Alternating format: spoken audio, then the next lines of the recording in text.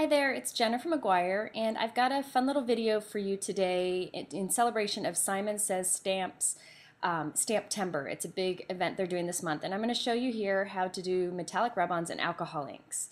So here is the card that I'm doing. It's got lots of texture and shine to it. It's kind of hard to see in the video, but I'll be using metallic background or metallic rub-ons on that background piece and alcohol inks on the frame. So let's start with the metallic rub-ons. I've got this background. This is my all-time favorite background stamp right now. It's from Hero Arts in Basic Gray. And I'm inking it up with Versamark ink, just a sticky clear ink, and pressing a piece of dark cardstock onto it.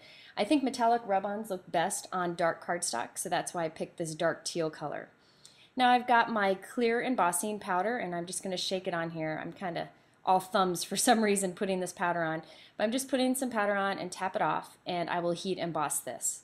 Now you could use a colored embossing powder for this, but the clear embossing will trap that dark teal color underneath it so that when we put the metallic rub-ons over it, it will resist it and show the dark teal through. So that's why I'm using the clear, so I can see that dark teal through it.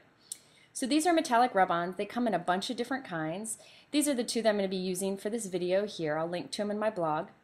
Now you can use your fingers to apply these, and I usually do, but I wanted to show you, you can also use these sponge daubers from Tsukineko. And you just put it into the, um, into the metallic rub-on, which is like a really, really thick lipstick, and just smear it around. And I'm putting it on super heavy here. So I'm covering it completely with the light silver color, and now I'm going to go in with like a darker pewter color and add just some areas of color on top of it, just so I can get a little variation and it's not all solid um, solid silver. So you can keep applying more and more colors. You could do like a rainbow of colors. There are also some metallic rub-ons that are actually not metallic, they're more of a luster. So there are a lot of great options for this. But I'm putting it on super thick here. Now when I'm done, uh, I will go back and buff all this off. You could buff in between each step, but I actually like to just go put a ton on at once and then buff it, and that seems to work great for me. And I'm adding a little bit of teal metallic rub-on in here too. Sorry, I kind of went off the screen here. I'll come back in in a second. There we go. So I've got this dry cloth. It's just an old napkin, and I'm just buffing it like crazy. As much as I can rub off, uh, I, I try to get off here, and it makes the embossed pattern pop out. And it looks like a faux metallic background. Now you could seal this with either like a hairspray or a fixative, but I just leave it as is. So you can see that background strip there, and I'll come back to it in a second, but I want to show you how to do this frame. I love metal embellishments, especially these Idea-ology embellishments from Tim Holtz, but I often like to have color on my projects. So I wanted to show you how you can add color to these. I'm using alcohol inks with a piece of felt on my blending tool. So there's felt on that um, tool there. And I'm pressing some of the stream, which is like a dark pool color, onto the felt, just a few squirts. There's no science behind this. And this is the new Snowcap Mixative from Ranger. And it's an alcohol ink that's pure white, and it is fabulous. This is a great um, key element to getting color on these metal embellishments. So I just did like an X of the white. I wanted a lot of it. Now I'm going to go just a, do a little dab of this silver mixative. Now if it's a mixative, you want to make sure you shake them real well first. So I just did little dabs. I usually put um, blending solution on it, but I want this to stay really vibrant, so I'm just skipping the blending solution step. Now you'll see I put my piece of metal on a post-it note so I could keep my fingers out of this, so just holding it in place.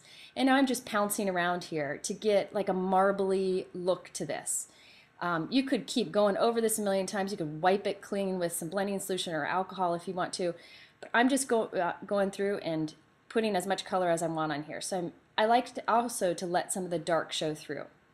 Now here's a real quick tip. I'll show you what the metal looks like in a minute. But I keep these alcohol swabs from the pharmacy on hand. It's a great way to clean anything off your craft sheet. So I just clean it up like this and then wipe away with a baby wipe and you have a clean surface. And those little alcohol swabs are really inexpensive. So now that this has dried, I'm going to put some dry adhesive on the back. I'm just putting a little bit just to hold it in place and I'm adding this stamped greeting, that's a Hero Art stamp, behind it. And you'll see me cut around it. Now on this frame, I just let it dry and leave it as is. You could put a coating over it, maybe glossy accents or something, but I just leave it as is. Um, and I love that, that mixing that white um, mixative in with the colored alcohol inks allows you to get this great color on these metal embellishments. So now I'm adding some pearls to cover up those holes instead of using brads. So I will show you how I adhere that on here in a second, but I also wanted to show you that I stamped that same background that I used earlier with Broken China Distress Ink on the background of this pool note card. These note cards are new color from Hero Arts. Um, there's three shades of pool in the pack, and I just absolutely love the colors. So I'll peel it off, and now my background matches that metallic rub-on piece we did earlier. So I'm just going to cut this to a little point here, to a little V, um, no science behind it. I don't measure it. I just kind of eyeball it, and I'll glue that down. I'm going to use a bunch of foam um, adhesive for this. I like the thick uh, um, foam dots and the thin ones, just for variation. But since that embellishment's pretty um, heavy, I'm just doing thin foam dots here. And I'm using quite a few so that's nice and secure. So I've added that to the card. Now I want to add this piece here, put some good glue behind it. Now you have a few options. You could use this matte studio um, multi-medium from Ranger. It's one of Claudine Hellmuth's products. Um, just to add some to the back here, or you could use glossy accents. Glossy accents would hold really well here too. So I've just put it in place, and now I'm going to put something heavy on it to make sure it stays where it needs to be. I just put a little um, acrylic mount on here.